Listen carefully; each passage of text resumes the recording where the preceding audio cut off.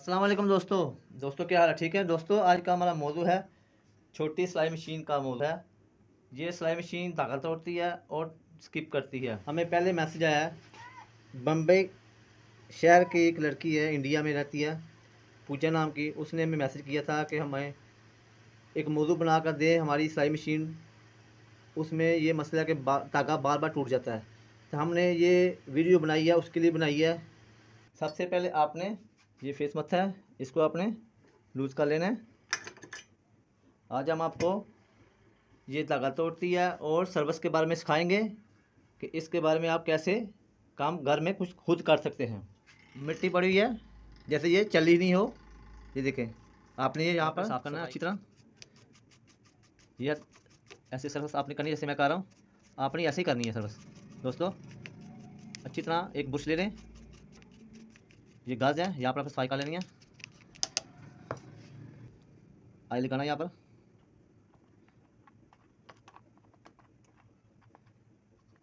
उसके बाद आपने क्या करना है? ये शटर बॉक्स आपने खोल लेना है।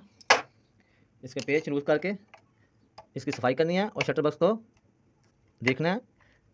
कहीं से ये इसकी दार जो होती है, तेज़ ना हो।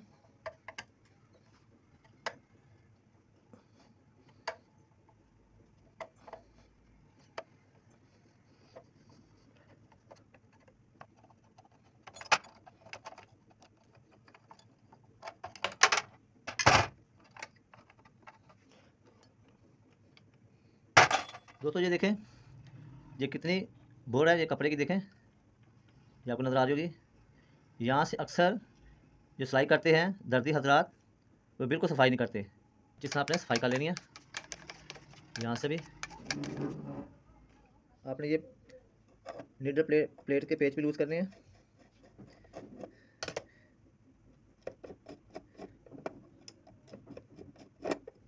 उसके बाद आपने ये लूज़ कर लें। दोस्तों, ये देखें, ये भी बोल है। आपने यहाँ पर भी सफ़ाई करनी है नीडल प्लेट खोलकर, अच्छी तरह, और बुश के साथ सफ़ाई करनी है आपने। ये देखें कितनी सफ़ाई होने वाली थी। अक्सर दर्जी हजरात यहाँ पर सफ़ाई नहीं करते, जिसकी वजह से कपड़े की खचाई कम हो जाती है, मशीन धागा तोड़ती है, और उसकी धागा टूटने की वजह भी यही होती है, ज़्यादातर। जब कपड़ा आगे नहीं जाएगा, कपड़े खिंचाई नहीं होगी तो मशीन की सिलाई अच्छी नहीं होगी। यहाँ से आपने लाजमी सफ़ाई करनी है। ये सुई के टक लगे हुए हैं। तो आपने क्या करना है? अगर आपके पास रेती है बरीक नोक वाली तो आपने इसमें से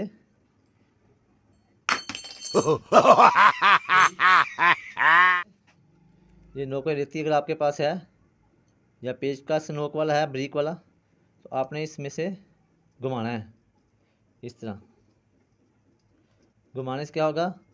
जहाँ पर सुई के टक लगे होंगे, वो जगह एक जैसी हो जाएगी, यानी कि टक ख़त्म हो जाएँगे। और आपके पास अगर रेती ब्रिक है या बड़ी है तो आपने यहाँ पर रेती लगानी है। ये मुलायम जगह हो जाएगी। उसके बाद आपके पास जो रेगमाल होगा, वो अपने ऊपर से लगा देना है।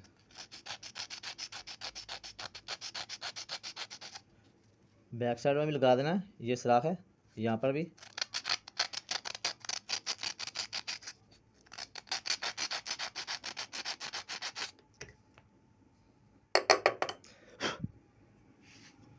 ऐसा करने से काफ़ी फ़र्क पड़ जाएगा।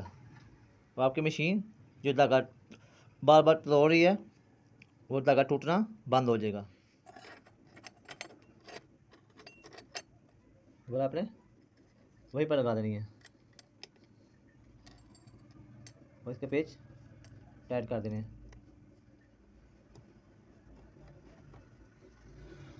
पेज बराबर टाइट करने हैं।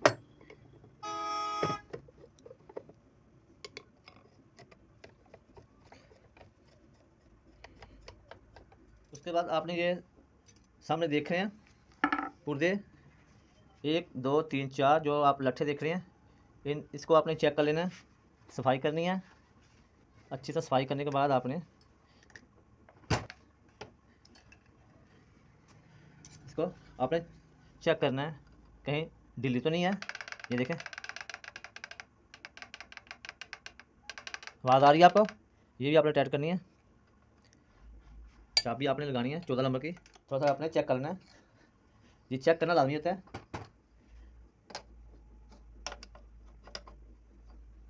दस की चाबी आप ये भी आप चेक कर लें इसको लगाकर। दस ग्यारह की।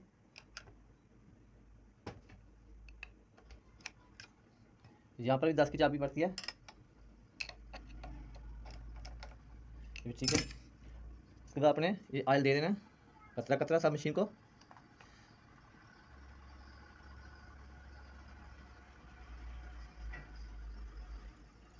कोई भी मशीन आप घर में चेक करते हैं, कोई फॉल्ट हो तो आपने सारी मशीन को आयल लाजमी देना सबको।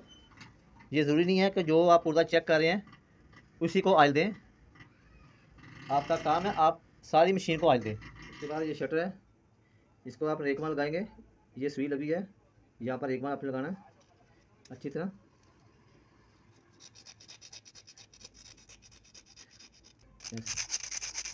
इतना कर सकते हैं? यहाँ पर भी। उसके बाद बक्स अपने खोलना। है देखें।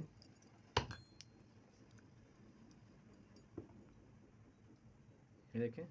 ये कितना गंद है। इसमें बोल बहुत ज़्यादा ये देखें। ये देखें। यहाँ पर सफ़ाई लाजमी होनी चाहिए। तो आप देख रहे हैं, यहाँ पर शटर चलता है, अंदर की साइड पे। और ये साइड जो आप देख रहे हैं, ये ब्लेड की तरह तेज़ हो जाती है, जिसकी वजह से मशीन बार बार धागे को तोड़ देती है। धागे के टूटने की वजह भी यही होती है, ज़्यादातर। तो आपने रेगमा यहाँ पर लगाना है। आप हाथ लगा कर देख चेक कर सकते हैं। उसके बाद आपने क्या करना है? इसको फिट कर देना है।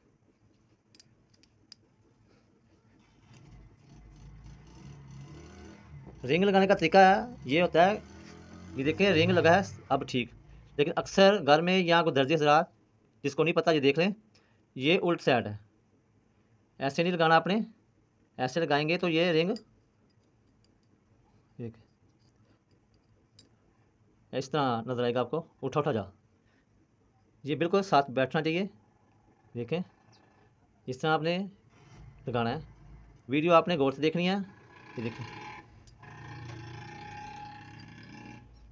देखें, बिल्कुल आप देखें, रिंग बैठ चुका है। इस तरह आपने रिंग लगाना है। ये रिंग लगाने का तरीका है, और पतरी भी आपने ऐसे नहीं लगानी। इस तरह लगानी है। इस तरह। देखें। और पेज आपने टाइट कर देना है।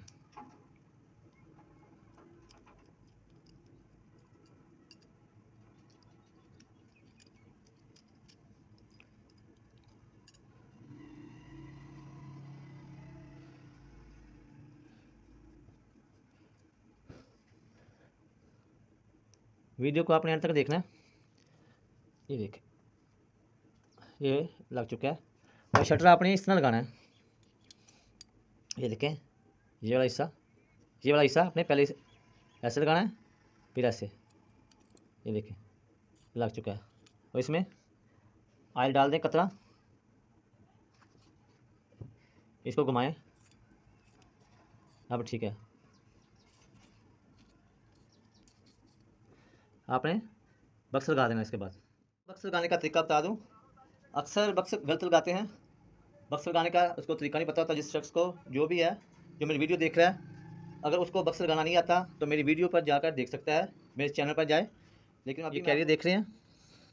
ये कैरियर वाला हिस्सा। को आपने ऊपर नहीं करना।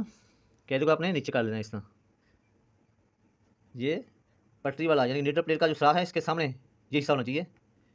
यहाँ पर। इस तरह और इस तरह बिल्कुल नहीं लगना। नीचे करें इस तरह। ये शटर आप देख रहे हैं?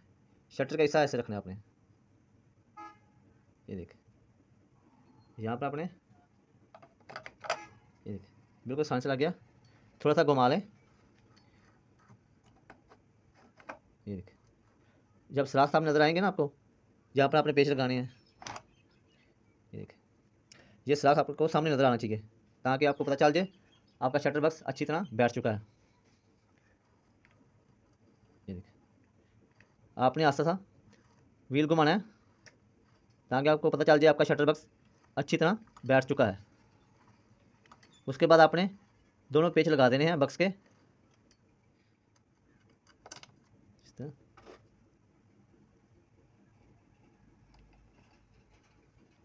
फिर आपने पेज टैड कर देने हैं।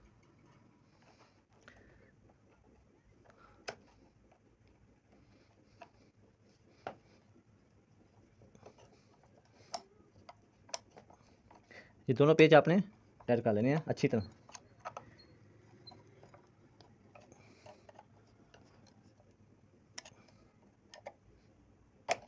हो चुके हैं। अब आप घुमा कर देख सकते हैं। दोस्तों, ये ठीक हो चुकी है। अब हम इसकी सिलाई चेक करेंगे।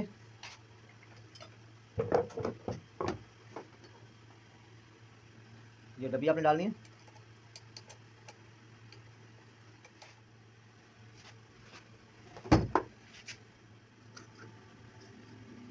दोस्तों, ये हमने वीडियो बनाई है, हमारे एक स्क्रैपर ने हमें मैसेज किया था कि उन्होंने कहा था, एक मौजू बनाएँ, हमारी मशीन ताकत तोड़ती है। तो कुछ थोड़ा पता सर्विस सर्विस का भी बता दें सर्विस कैसे की जाती है।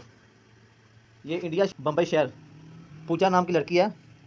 तो उस, उन्होंने हमें मैसेज किया था तो हमने वीडियो ये बनाई है, उनके लिए बनाई है। अगर वो देखती होगी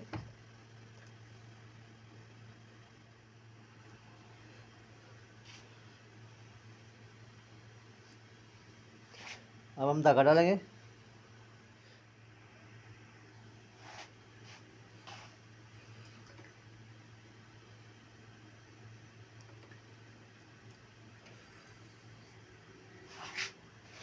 ये कपड़ा में लिया सफ़ेद कलर का इसलिए लिया कि आपको टांका नज़र आ जाए। ये देखें।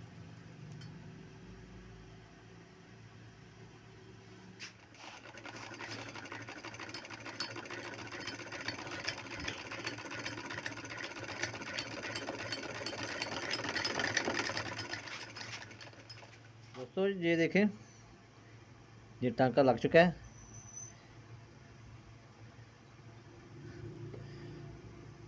दोस्तों, अगर आपका कोई मसला हो, जिस तरह हमें पहले मैसेज आया बम्बई शहर की एक लड़की है, इंडिया में रहती है, पूजा नाम की, उसने हमें मैसेज किया था कि हमें एक मौजू बना कर दे हमारी सिलाई मशीन। उसमें ये मसला कि धागा बार बार टूट जाता है। तो हमने ये वीडियो बनाई है, उसके लिए बनाई है।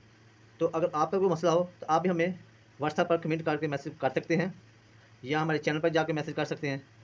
तो इन हम वो मौजू आपके लिए बनाएँगे। तो इन दोबारा नए मौजू के साथ दोबारा हाजिर होंगे। अल्लाह हाफिज़।